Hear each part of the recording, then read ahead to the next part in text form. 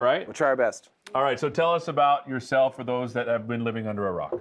Oh, well, I don't even know what's living under a rock. Uh, so I'm Brendan Burns. Um, I'm one of the co-founders of the Kubernetes open source project. Kubernetes is a container orchestrator. It, it's basically a way of taking a whole bunch of computers and joining them together into a single shared resource, and then using those resources to deploy a wide variety of containers and put together uh, what has been come to known as cloud native applications. So, uh, and then I, I work uh, for Azure, obviously. Um, and there, in addition to the Azure Kubernetes service you just heard about with Scott, um, uh, I work on actually, I, I run a bunch of other teams that deal with sort of DevOps and APIs in Got it. general, and open source, a lot of open source on Azure. So I know there's a lot of devs that have heard about Kubernetes, and, and maybe I'm in this camp where I need to know a little bit more.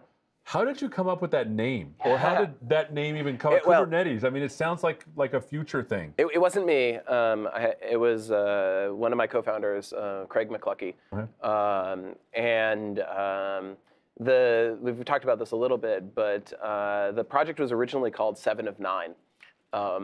Um, uh, because so the original internal container orchestrator that, that we used was called Borg because it's like the Borg, it's the Borg collective. That seems more Um, apropos, I think. And so Seven of Nine, if you've ever watched Star Trek Voyager, which is a way of admitting that I watch too much Star Trek. Oh, my um, goodness. Seven of Nine is like the Borg character in in in Star Trek Voyager, and so I originally called it Seven of Nine as the code name. Mm-hmm. Um, and then it became Project Seven, uh, or as these names iterate, these code Mm-hmm. names iterate. But then we went, we had to launch, and we needed a launch name. Um, and we were thinking a lot. Craig actually was thinking a lot about. Well, we were all sort of batting words back and forth, but Craig was was driving to work, uh, as he tells it, and um, he was thinking, well, what does it do? And, and Docker sort of had all of these sort of nautical, you know, like they Yeah. had the whale, and they had Yeah. sort of like so. There's a lot of sort of marine analogies going on. So he's like, well, it's like the person who drives the ship. Kubernetes is like the person who drives the ship. And so he looked up helmsman, uh, the word helmsman in uh, Greek,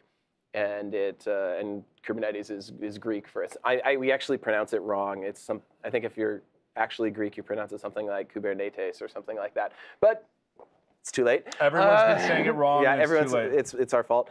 Um, uh, so that's and it stuck, and and and we launched from there. And uh, it turns out, in retrospect, um, it's actually also the root of cyber and cybernetics. So the word cyber actually comes from from Kuber in Greek, and it totally looks like we planned it, and we totally didn't. no, we, well, we're going to delete this in post Yeah, because they, you totally we planned it. totally planned it. Yeah. So yeah. with the with the advent of this new kind of technology recently, there's a lot of terms floating around. I'm hoping because this is Kubernetes for the clueless. Sure. There's like we have Kubernetes, we have images, we have containers, we have Docker. Can you make sense of that for us? I mean, help help us out. Yeah, I mean, so I thought maybe we would um, uh, do a little whiteboarding. Let's do If it. that if that works. Yeah, so, let's do it. Let's go uh, to the screen Let's here. go to the screen here. Hopefully, this will show up. Um, so uh, you know, and I'll, I'll turn it a little bit so you can see there. But hopefully, we're we're, we're broadcasting this out to everybody. so Are you on a looking over- Surface Go right here? I am on a Surface Go. and you're doing like a distributed computing talk here on a Surface Go. I love my Surface Go. Man, this is totally, amazing. I totally love it. This is amazing. Um, I, I walk to work a lot, and Okay. so like the fact that it's a pound and a half is just it's life changing. All right. Um, all right, so you know when when we're talking about uh, a container, there's actually sort of two parts of the container. There's the um, there's the image. Mm-hmm. I wish I had my pen. Um, and then there's the kernel. Um, uh, I should just not spell words. Um. Yeah, I should just not spell word. No, this Um, is okay. I love but, it. But the the so the image is actually what a lot of people are thinking about because you know when you when you used to build things on a VM, if you had a VM here, you have like you know your app here maybe and some shared library, and maybe you Mm-hmm. have a couple of different apps, and they both depend on the same shared library.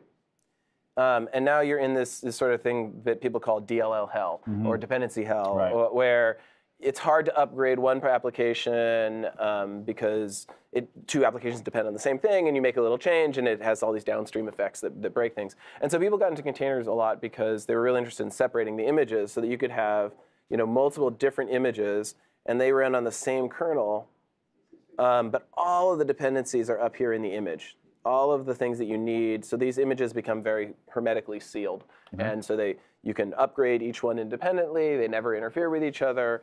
Um, and they're also isolated from a resource perspective. So um, in terms of RAM and in terms of memory, they have totally separate uh, sets of, of, resources that they're using. And so they, they are isolated in a way that makes them, them easy to use. Um, so that was sort of what got people into containers originally. Okay. Because if you think back to the, to the days of VMs, it was really hard to manage. You ran all these scripts, right. they failed. Like, and, and after it failed once, could you run it again? Maybe if right. you built the script right. It's very hard to understand why it broke, how it broke. Whereas with a container image, it, it was idempotent. You just, if it didn't work, you just installed it again. Right. If you upgraded, you didn't worry about stuff left over from a previous version messing mm-hmm. around with stuff. Um, so that's really why people started getting into it. But again, this, this boundary here, this is all just one machine right? Like it's all just running on one machine. And right. so, but most systems, when you're building these distributed applications, they need to be on multiple machines. Right.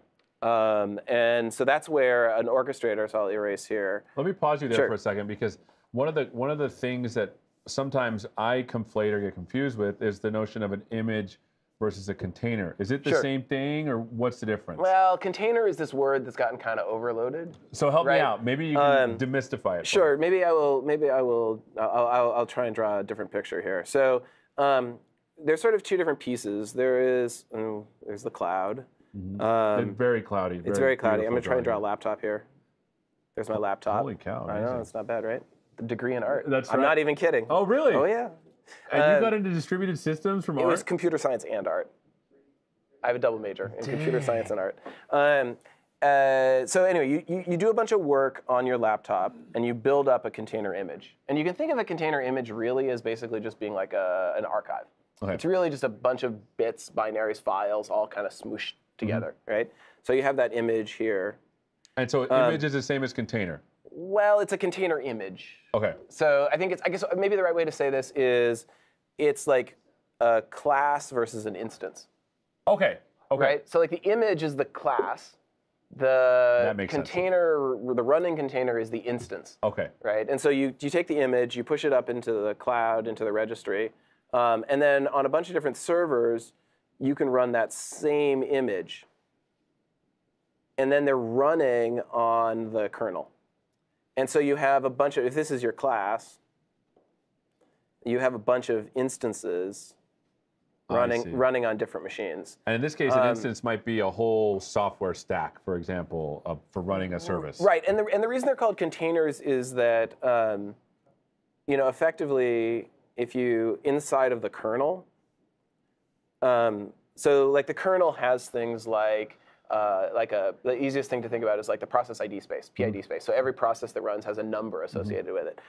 Typically, on a, on a normal machine, there's only one of those. Yeah. Right? There's only one process one, there's only one process two, there's only one process three. With a, with a running container, you actually create a separate PID namespace for each container. And so there's actually a PID, there's a process one in each of those. I see. And they can't see each other. And so that's why they're sort of, that's the, the running container part is I this see. like isolation inside of the kernel That's cool. uh, to keep the applications apart from and each you keep talking about kernel. That basically means the OS, the operating system. Well, you have to be very specific. Okay. It actually means kernel. Okay. Right. Um, operating system is also a vague word.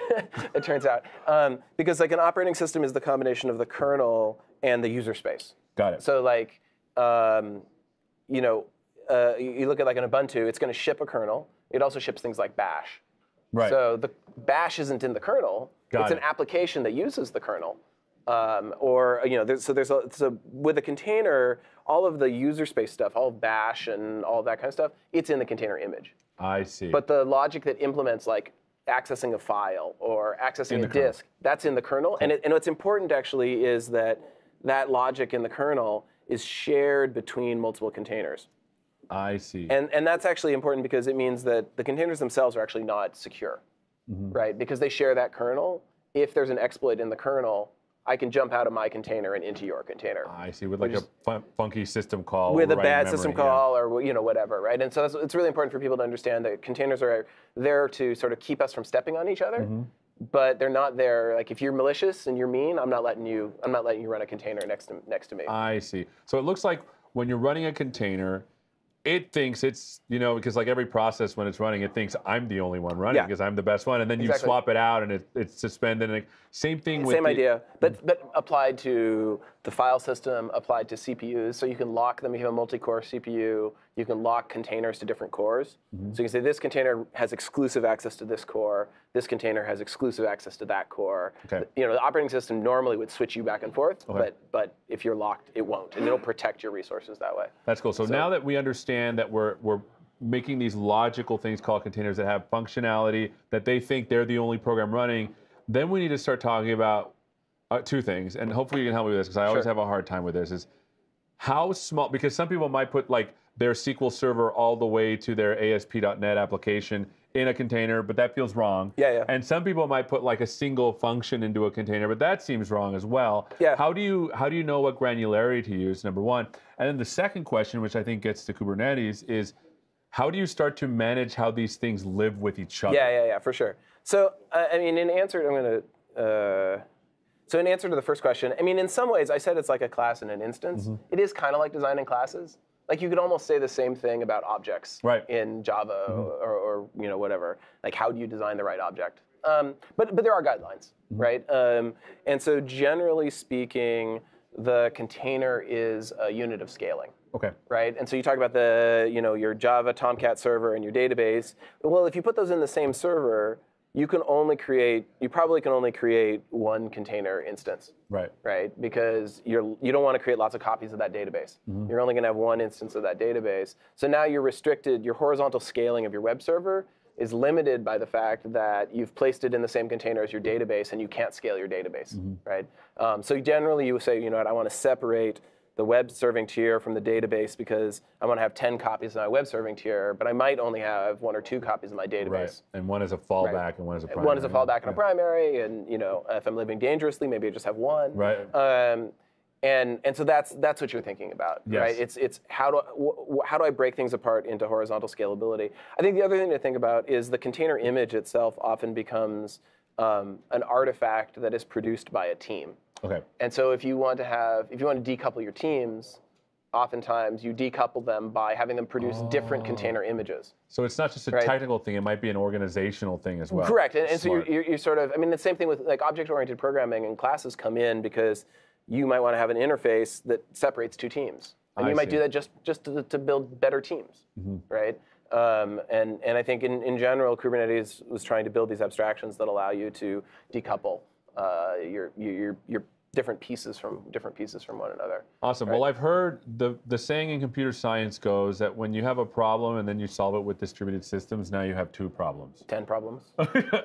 Sorry. Yeah. Yeah. 10 problems. So how does Kubernetes help with orchestrating? Because that, that's what it is, an orchestrator. Right. Because some people, and I confuse this, and maybe you did too at home, I confuse Kubernetes with like actual con- making containers and being Right. Docker, but it's not. No, it's, it's not. Docker. Not at all. So no, tell us about no, that. No, no. Well, I mean, Docker kind of straddles the line, but because it's both the builder and the run. And I think one of the reasons I have this trouble with container and container image is Docker is actually both the thing that builds the image and the thing that runs the image. Yeah.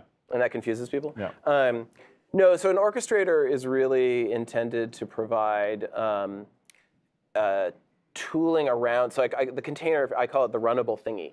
It's like you imagine you have this black box and you can press a play button on Yeah. it and it plays. It runs. Right, and it runs. But there's all sorts of stuff like, what happens if it stops running? What should you do? How do you know it's healthy? What if I want three copies of it? How do I bring load balance? How do I load balance traffic to it? All this kind of stuff. That's how. Uh, that's what Kubernetes provides I see. right? And and um, there's actually a series of, of examples that we could step through. Let's do Um, that. But you want to do that? Before right. we do that, though, there's a couple of questions. Sure. Uh, there's lots of chatter on serverless versus containers and what to use when. What do you suggest before we dive in? Um, well, so I think it's important to distinguish between uh, serverless, meaning I don't have any servers, Yeah. versus functions as a service, which is a programming model. Right. right? And I think they got kind of conflated. Yeah. Right? But we actually in Azure offer serverless containers, right? Oh. So Azure Container Instances is serverless containers where you give us a container image, we run it for you. But it's like infrastructure as a service, right? It's like you know we just run it. It's like you gave us a disk, a VM image, and we ran a VM. But instead, you give us a container i- image, and we run your container. I see. But it's not. We don't tell you how to program. We don't tell you what language. Like functions as a service you know, there's only a certain number of programming languages you can use, Mm-hmm. a certain amount of memory you can use. There are none of those restrictions in uh, our serverless container offering, right? I see. It, it's inf- it's IaaS. It just happens to be IaaS where you don't see a machine, I see. right? And then there's functions as a service, which is a programming model, event-driven, on-demand. It's a, I it's a see. way of and, and tooling. You know, easy to use tooling makes it really easy for you to take a, ch- a piece of code and push it up into the cloud. Um, so I think it's important to distinguish between those two things. Um, I think that I see functions as a service being really great for webhooks, for The glue, the internet glue, yeah. or like, hey, you know, something asynchronous happened on some queue. Somebody uploaded a file, and I want to do something in response to somebody uploading a file. Mm-hmm. Um, I, I think containers are more oriented towards longer running processes or large scale serving, where Mm-hmm. you know you have thousands or hundreds of thousands of requests a second, and you just need to have something that's running all the time. I see. Um, that's a place where, where containers are useful. I think ultimately when we look at the apps of the future, what we're going to see is people are building with a mix of containers, functions as a service, um, and uh, um, uh, data stores like uh, Cosmos DB and, and those sorts of things. Right? So when we're talking about Azure container instances, that's what you're talking about, Right. containers as a service. Yeah. But then that, it begs the question: if you have hundreds of those things that you're spinning up, Right. how do you manage them together? And then now we can get into the and that's and that's Kubernetes. And in fact, actually today we just announced the preview of um,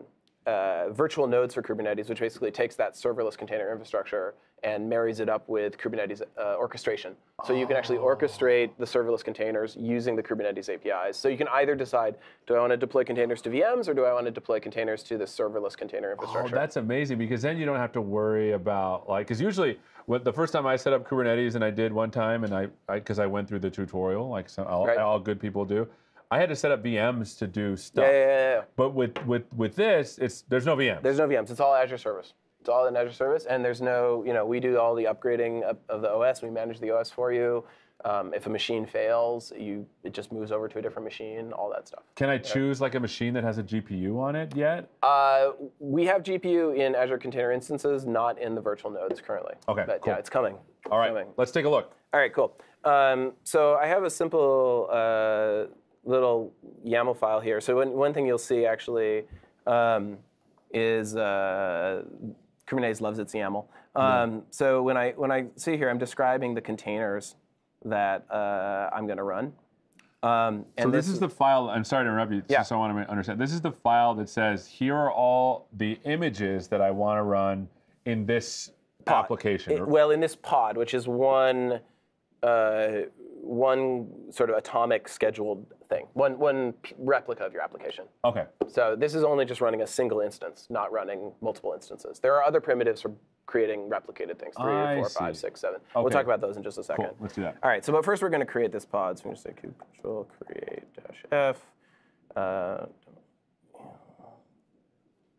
And what this is doing is this is getting all of those image definitions and getting them ready to run as containers. It's actually yeah, it's, it's actually making a declarative state, a declarative statement to the cluster saying, please run this. I want this to exist. okay. Right? And so then having done that, if we say kube control get pods, um, you can see that we have this this one up and running. It's been running for 17 seconds.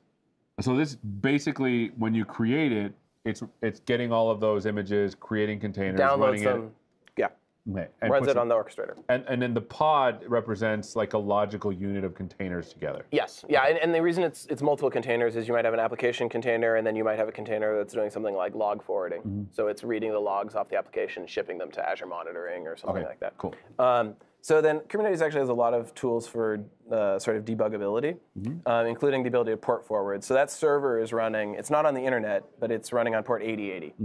Um, and actually, if we go back over here, you can actually see, you can see its IP address. So there's its IP address, um, which is inside the cluster. I see. Uh, but then I can actually port forward it, which means that um, I'm going to port forward traffic from my local machine here out into the cluster so that I can play around in my application without it being exposed to the internet.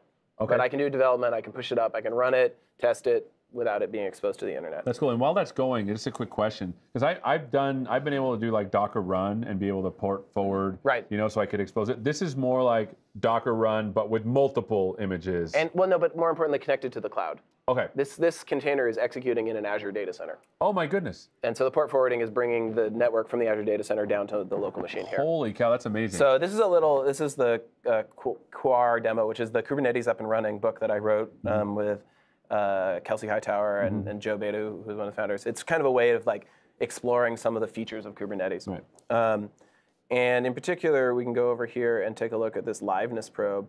So um, one of the ways that Kubernetes makes it easier to run these distributed systems is it will automatically restart your application if it fails, right? Oh, cool. And not just if it crashes, but actually if you define it as being unhealthy. And the way you define it as being unhealthy is you can say, hey, please hit this web endpoint.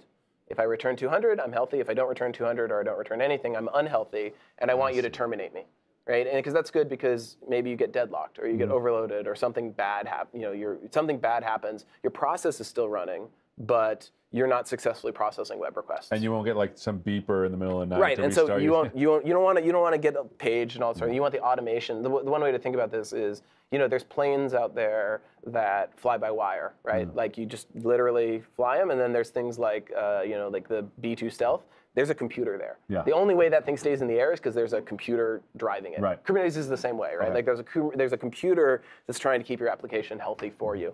Um, so we can actually drop back over here, um, and I will terminate this one. Um, I'm going to delete the instance that I have. And this is running in the cloud. I mean, how did is- you yeah, how did is you running in the map this all? There's like, do you have to like do something with kubectl in order to? Uh, so when you create the cluster, you download this configuration file. Okay. And the configuration file gives you like the certificates and ac- for accessing it. Okay. Actually, I use AAD um, for accessing it and the IP address and all that stuff. And then once it's done, it's it's but it's through AZ. You just say the the AZ tool. You just say AZ get credentials, and boom, it's on your file system. You're ready to go. Love it. Um, so then if we go over here to this health check one, um, what you'll see here is this looks similar, except for I've added this uh, liveness probe, right?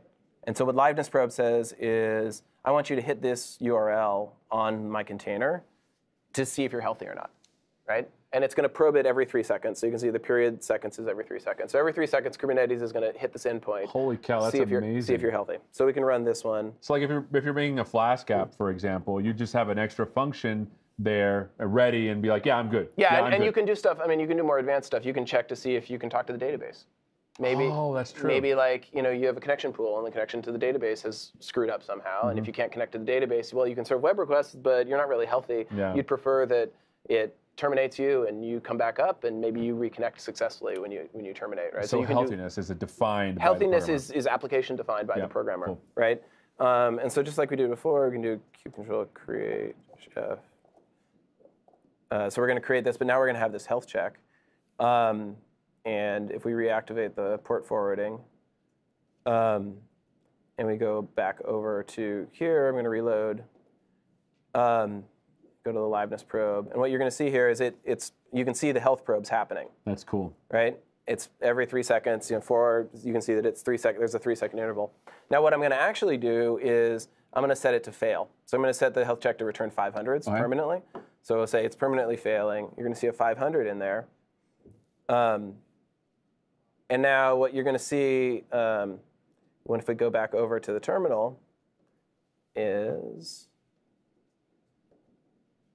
so if you saw here, there's zero restarts. Yeah. Now, if I do a kube control, There's gonna be a restart every three seconds. There's actually it's, it's only once because it's in memory. Oh, I see. The fail always is an in-memory setting. Got it. So it fails once, but then it comes back, and I haven't clicked fail again. So so it's Oh, healthy now. Okay. Cool. Right. So it's got one restart, um, and so you can see there like. Obviously, it's a contrived example with me setting fail, but if you had a real application health That's check there, really cool. it fails, Kubernetes creates it automatically. All right, let's right? let's burn through some of these questions because for people sure. have some questions while they're going. Any plans on using Firecracker for better container isolation, or does MS contribute? I don't know what Firecracker is. Maybe You don't know what Firecracker is? No, Oh, Firecracker is interesting. It's a so AWS recently announced uh, it's an open source, very thin container optimized uh, virtual machine. Okay. It's actually very similar, almost identical, really, to Hyper-V containers. Okay. So we've actually had Hyper-V containers for you know a couple years at this point. Very similar idea. Mm-hmm. Take because as I said earlier, containers aren't a security boundary. Right, of course. But the hypervisor is, and so you what you can do is you can take a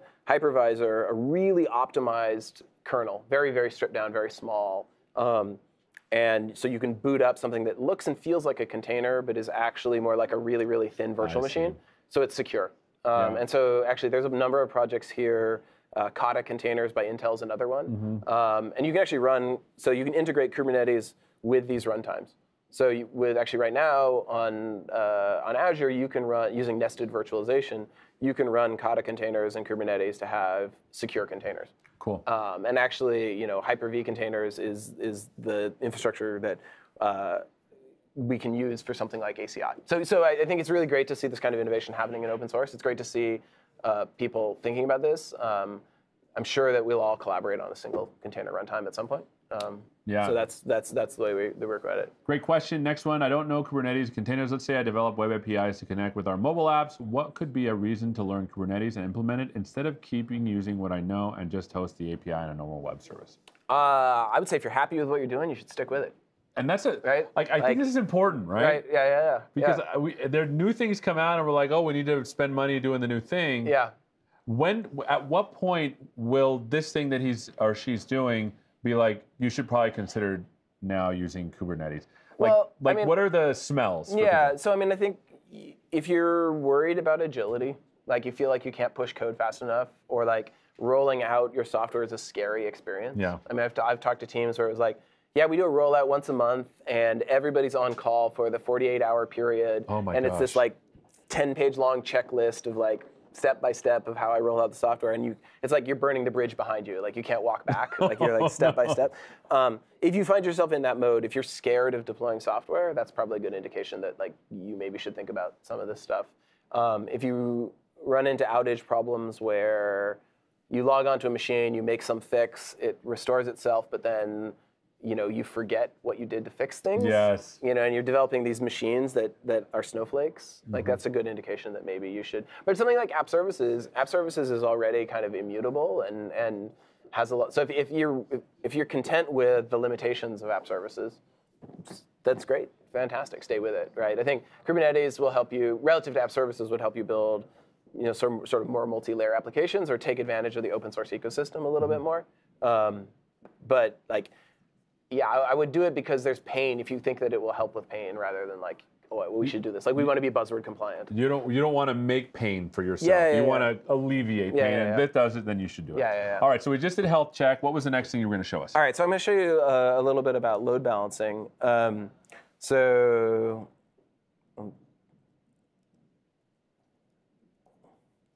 um, so when you're when you're load balancing traffic into uh, Kubernetes, it's this thing called a service. Um, and if we take a look here, there's a service. Um, uh, the, the basic idea is this defines a load balancer that's going to target a bunch of containers. And the way that it targets it is um, this selector. My app is demo. okay. Um, and if you looked at that, uh, the pod definition that we had before, it has, uh, where is it? The label. It has a label right here that says app is demo. So it's like tags. So you tag a container, Okay. and then the load balancer looks for things with that tag, and it brings traffic to those to those uh, to those, those pods. Okay. Um, and so we can actually go and uh, do. I'm going to actually. I'm going to delete because I'm going to. We're going to delete the one that we have because I'm actually adding a readiness check. I'll talk about readiness checks in just a second. Um, you were saying. Yeah, so as this is loading, uh, I noticed that in your YAML file, are you defining, like, because I'm looking at your code, there's no code there at all. There's just Yeah, yeah, yeah. YAML files. Yeah. Where is the actual, where are the actual containers coming from? Well, that's the image. So the image I built separately. Okay. I pushed it separately. So the image repository becomes sort of an abstraction point between the build process and the deploy process. I see. So you do a lot of work to build your image, you test it, you qualify it, you push it into a registry, and then you deploy it using the YAML config. So you really have separated the act of building from the act of deploying. And that's cool because then, for example, if there's a failure, a, a healthiness, a health check comes back as bad, it can roll back to a previous container if you tell it to do You it. can definitely do that, um, and hopefully we actually have a demo of that too. and Oh, let's do we it. Can, um, so I'm going to show you the services first. Um, so we can say kube control create we'll create this container. And what's important in the container actually is in addition to this liveness probe that we saw before, there's now this readiness probe. And the idea behind a readiness probe is it tells whether or not the thing's ready to be part of a load balancer or not. Right? so Oh, see. one tells you I want to be restarted. The other says, hey, I'm not ready to serve. Maybe I'm loading a big database file. Right. Mm-hmm. Maybe I'm you know, still initializing and booting up. I want you to keep me alive, but I want you to uh, not bring me any traffic. Cool. Right? Um, and so now we can create that service. Um, and when you create a, oh, it already exists. So I must have left over from when I tested to make sure the demos were working. And while you're Um, typing this, this is actually really cool because I recently deployed to Kubernetes. and I don't know someone helped me. Lena, my one of my coworkers, helped me deploy. We have a machine learning model that's using GPUs that we need to deploy, and having a readiness check is actually super useful because I'm loading a pretty big Yeah, machine yeah, yeah. learning model. Exactly. And so I gotta I gotta put this in. Yeah, exactly. service. So you see this this this service here. It's got an IP address associated with it. This IP address is different than any of the containers. So when you target that IP address, you get load balanced out to the containers. That's cool. Right. Um, and actually, if you go back over to uh, our uh, app here, we can actually see in the DNS query. Here, oh, I have to, probably have to restart port forwarding because I restarted the container.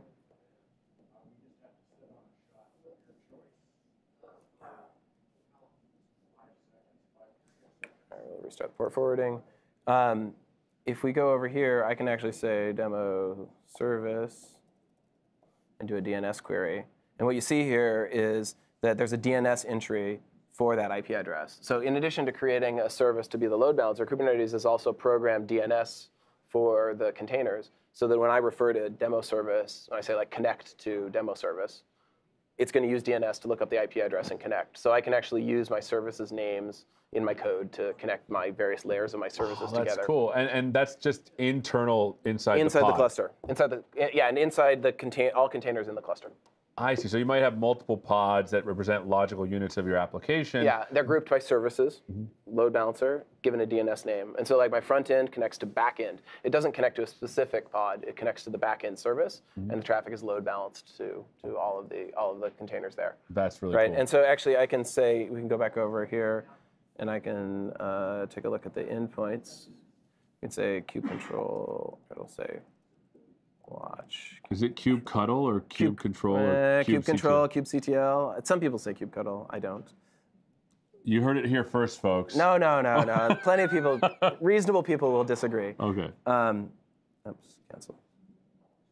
Get.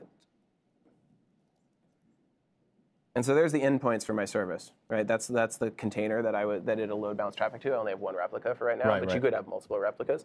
Um, but what I was going to show you is if I go over here and I go to the readiness probe, um, and you can see the probe coming through. I'm going to set it to fail. So it's permanently failing. It's going to throw 500s. If we go back over here, what you're going to see is in uh, a little bit of time, it's actually going to get removed from the load balancer. So it got removed from the load balancer. So now I don't have any, which is bad, which is why I need replicas. Right. But like that entry got removed from the load balancer because it's failing its readiness check, right? Um, Wow. And so I, if I go back over and I say, okay, let's succeed instead. Let's go back to succeeding. So now it's going to start returning 200s, hopefully.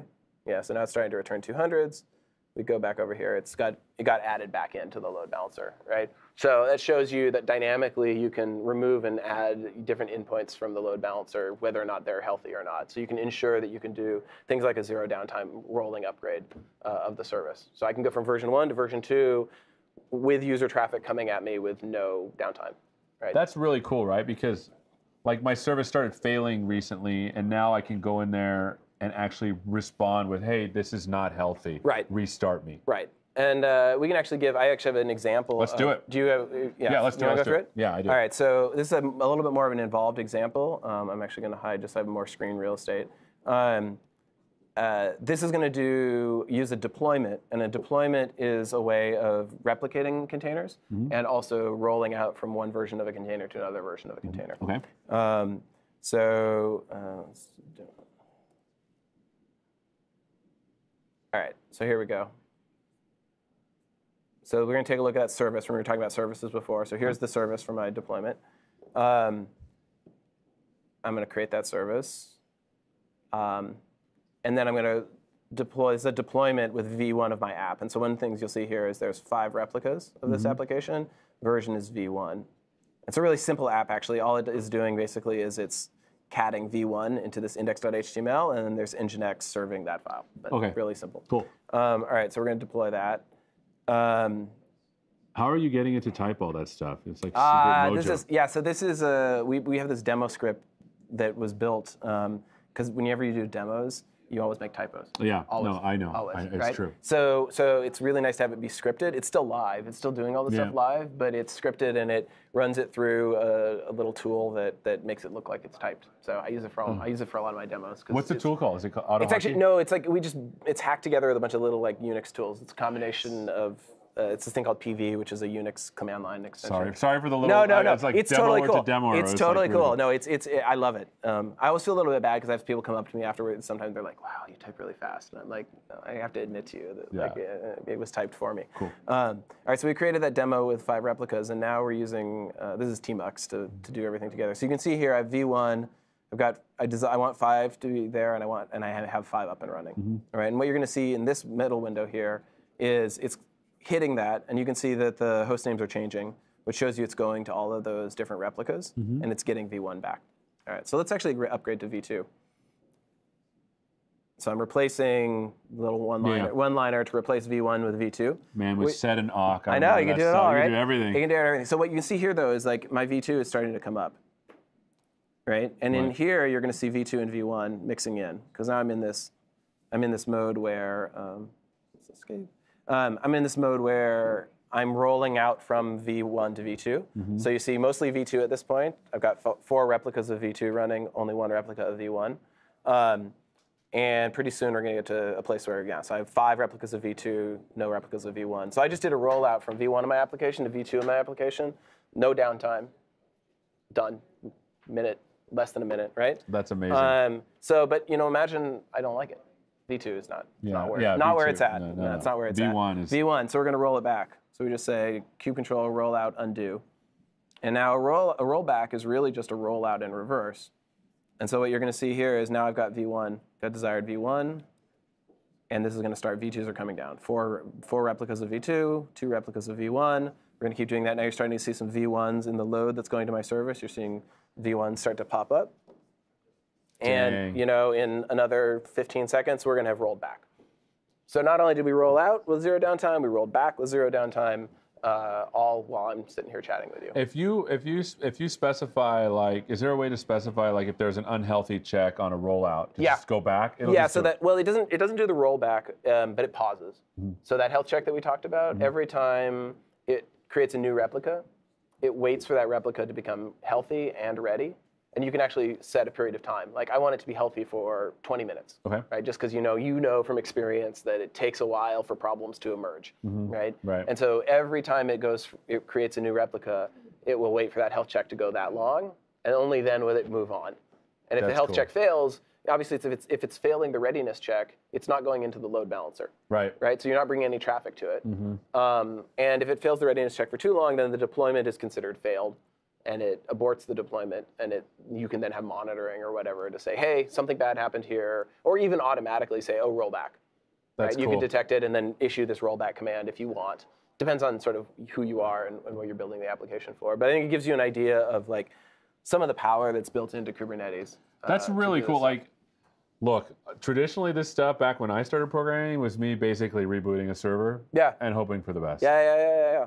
Yeah, yeah. No, we've come a long way, I think. And this is pretty amazing. so for those that are new to this, where can they go to find this this run through this demo themselves to make it work? Yeah, so th- so these these demos are going to go up on GitHub in my repository, but there's also a lot of really great material um, on the Azure Kubernetes uh, site uh, on on Azure.com, as well as honestly on the Kubernetes.io uh, website um, has a lot of great material.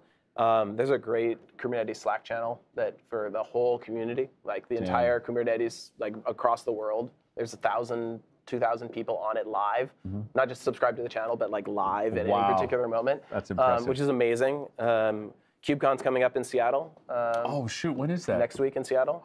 It's sold out, unfortunately. Oh, but seven, do you need me to pick up chairs or clean in- toilets or something? Yeah, it's Oh. convention. It's at the convention center. Seventy-five hundred people coming to the convention center. That's It's- amazing. It's amazing. It's Well, awesome. congratulations. This is Yeah. amazing. We've really needed this in software development, I think. Yeah, it's, I think I hopefully it, hopefully it helps, and I think there's more to go, but we'll keep keep working on it. Awesome.